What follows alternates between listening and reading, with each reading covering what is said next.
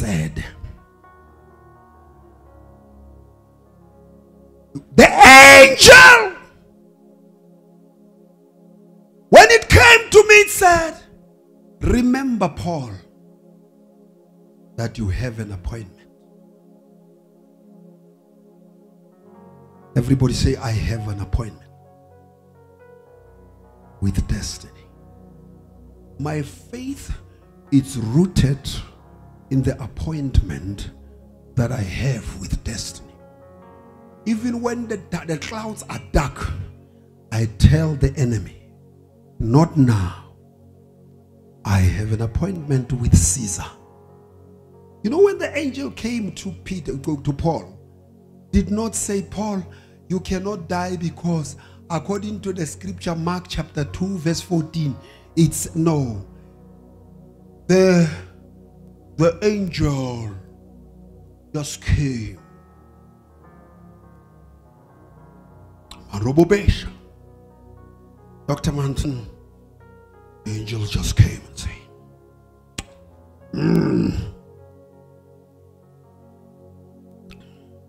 Let me go to an American. I want to talk to an American. Will understand me. That if I make a mistake, I'm an African.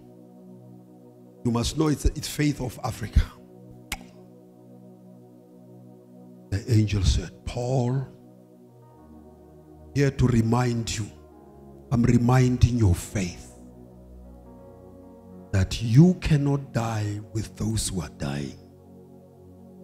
Or remember that you have, check your diary, you have an appointment with King Caesar.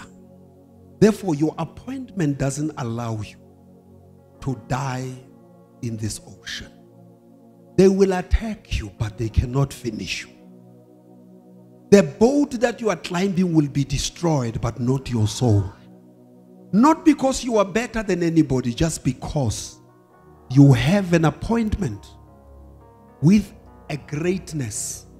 Caesar was a system that governed, was a leader of the empire. So you have an appointment to change the empire, the government of the day.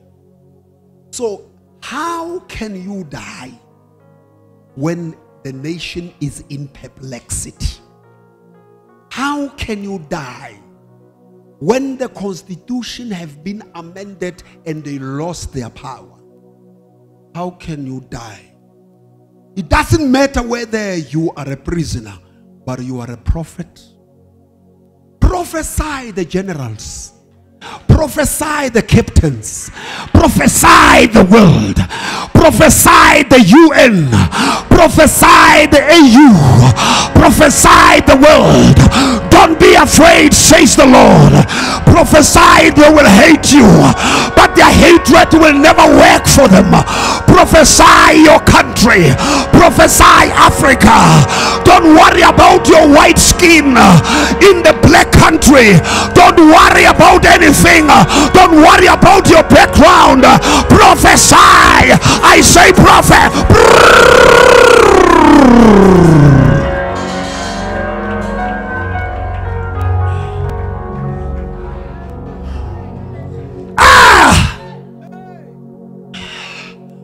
professar.